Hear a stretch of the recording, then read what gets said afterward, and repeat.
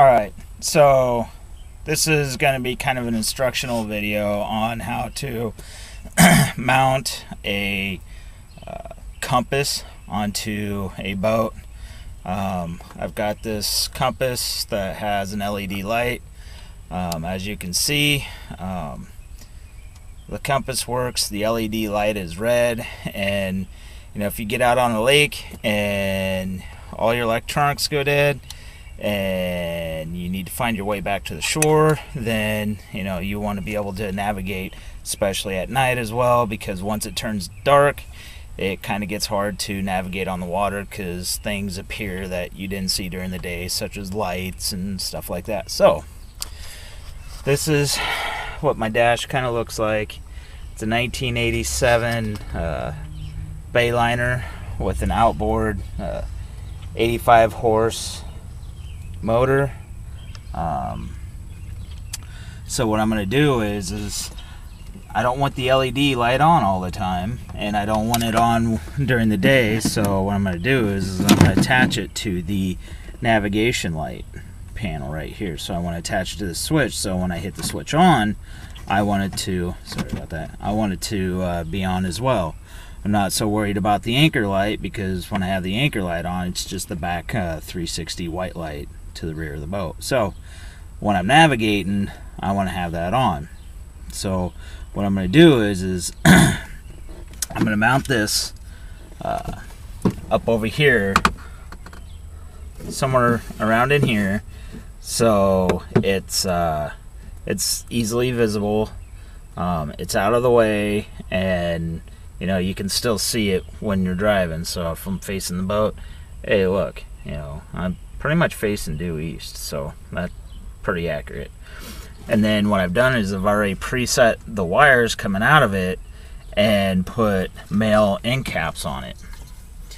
As you can see, I put some male end caps, crimped them down, and then I just wrapped some electrical tape around to help support the wires in there, as well as uh, I got female connectors, covered female connectors on about, uh, I would say about a foot and a half of uh, 16 gauge wire. Uh, I use black for negative or neutral, and I used uh, red for, of course, positive. So, um, what I'm going to do is, is I'm going to drill holes in here and then I'm going to route my wires down over here to the switch. I estimated about a foot and a half worth of uh, electrical cable, so um, that should that should do. So what I've done so far is I went ahead and kind of prepped it. Um, on my panel, I've got plastic clip here, plastic clip here. What you do is you just take a flathead screwdriver, you pop this little pin out, top and bottom, and then what happens is, is these pins come out and basically it falls right out in front of you. So what I'm going to do is figure out which one's negative, which one's positive, and then I'll just cut these ends off and I'll wire them together and then I will put new ends on it and connect them up, make sure it works before I do all the drilling and all that fun stuff. Or, you know, I just might put the compass over here because uh, uh, it looks like it might sit here a little bit better. Um, but you want it straight, somewhat towards the boat, so it looks about even. Um, so I might end up putting it over here, but I'll uh, do some figuring and decide from there. So as you can see, I got my holes drilled. I got two of the mounts drilled, and then I got an additional hole drilled for the wiring to go down through. So what I'll do is, when I go to mount this up, underneath there's a 3M sticky pad or sticky pad to help mount it up. I'll cut little grooves in there um, just along the side, just enough room for the wire to go down in. And then when I secure this down, it'll kind of hold the wires down, but at the same time, it won't smash the wires. I mean, this is only plastic, so it'll bend and give a little bit. But uh, as you can see, um, the mount will cover up the hole. The wires will run back and down underneath keep it all nice and neat and uh, professional looking. So um, I'm gonna go ahead and get the sticky put on it and the little groove cut out, and I will show you that aspect. All right, so I got it cut. You can see where the grooves are, uh, where the wire will sit inside, and there's a little round hole so the wires can actually do a little bit of a bend. Um, and then you can see up here I have uh, cleaned it off so the tape will help stick uh, for mounting reasons. And uh, I'm gonna go ahead and uh, try and get her mounted up, at least stuck up there, and then uh, see about how well it'll work. Alright, let's see if I can't get the camera to stay there as I uh, attempt to uh, make this work. So, go ahead and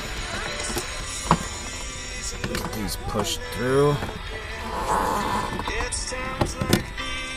Maybe I should made the hole just a hair bigger, but I'd rather have it not too big, massively big, because if it's massively big, then I have issues with it. So, come on. I think the tape is starting to cause some issues. Let's see if I can reach up there. Try and pull it through. There we go. Just needs a little help from the inside. I like to listen to music when I'm working on stuff. Alright, so got the wires pulled through. And what I'll do is try and get that to stay there. Now here comes the challenging part, is going to be trying to get this thing to stick in the exact spot that I need it to. So it will stick and stay. So what I'll do is I'll tip it up like so. Make sure those holes line up. Come down like so. Alright, here comes somewhat the moment of truth.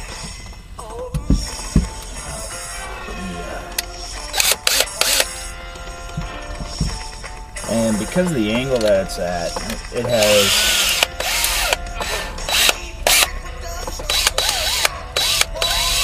Oops. Get this stuff on here. What's going on?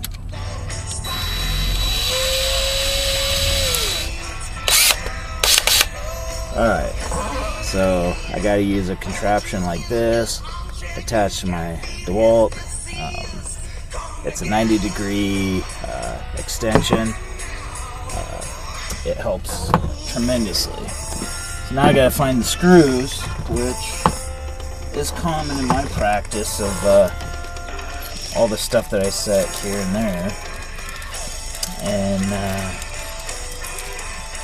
get them all kind of confused and mixed up and set stuff on my left, set stuff on my right. Yeah. So, anyways, set that screw down before I drop it and lose it. Alright. So now we're going to do the first screw.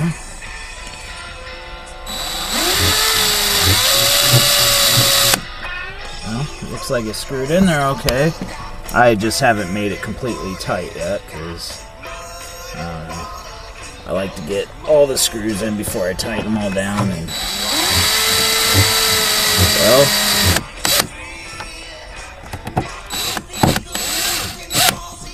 there we go. So now, now this is not a very expensive uh, compass, so you know. I'm gonna have to do some leveling off. Uh, there's an east and west level, and I've got a north and south over here on the other side. So,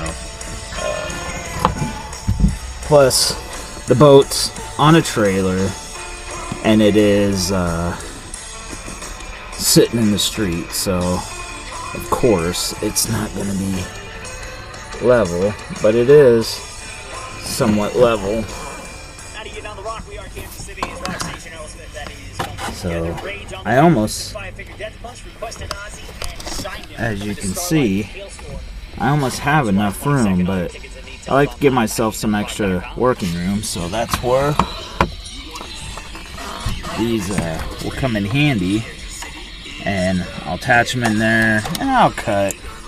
Probably just past this last grip right there, and uh, hardwired in. Uh, blue I'm finding is uh, the positive.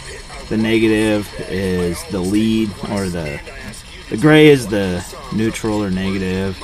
The blue is the positive, or in a sense, this goes to the lights, and they're grounded at another point. So this is the end, then it gets switched on, and it travels through the gray.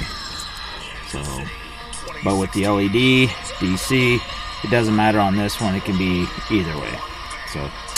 Uh, I will get these hooked up and wire cut down and go from there. Okay, now I know the throttle is kind of in the way, so I'm going to try and hold it to where you guys can see it. Um, there's multiple different ways of connecting two wires. You can put them together this way, solder them. You can put them together this way, twist them, solder them. Um, as you can see, I already done the positive and put the female end already on it, so it's ready to hook up. So what I like to do when I'm hooking them up this way, and my dad had taught me this, that you kind of you fan out the the strands, so you can smash them down, just kind of get them to fan out. I'll do the same, you know, do it on both. And what you're gonna want to do is take them together, and then you kind of intertwine them so they're intermixed with each other and then you twist them together. Uh, it helps the continuity, it helps connection, um, and everything else. So uh, it also help keep the wires from coming apart, and um, uh, it makes wires stick together a little bit better. And then when you go to put your connector on, it'll smash all the wires.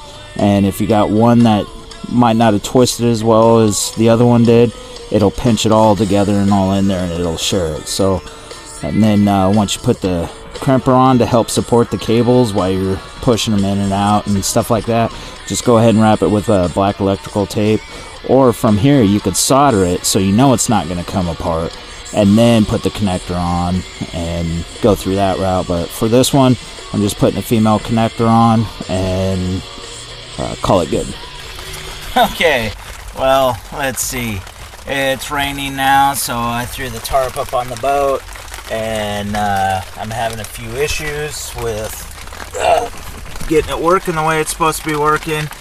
But as you can see now, uh, I've got it on, and what turned out was the problem I ran into is when I ran the wiring and tested to see if it could work uh, it was bypassing the, the actual switch, which I should have known, and was just on the whole time.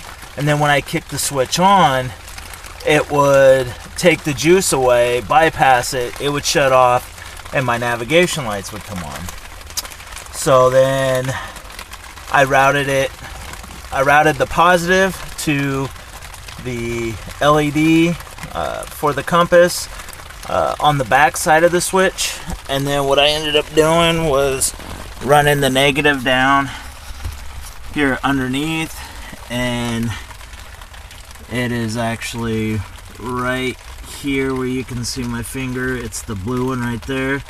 I attached the negative onto the negative because as you can see this is the fuse fuse box it's a old style uh, really old so I got the idea that I'm uh, gonna want to upgrade it. So, anyways, with that being said, uh, I tested it before I connected it. It worked.